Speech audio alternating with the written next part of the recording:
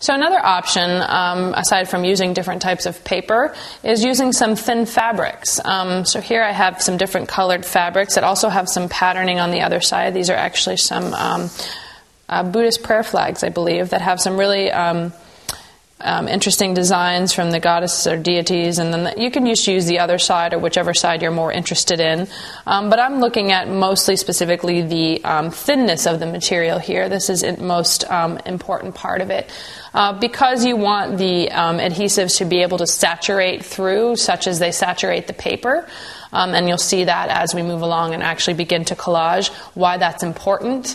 but if you're using thicker fabrics, it's a lot harder to make them adhere to the surface, as well as you're dealing with fabrics that you enjoy the surface of or the um, softness of.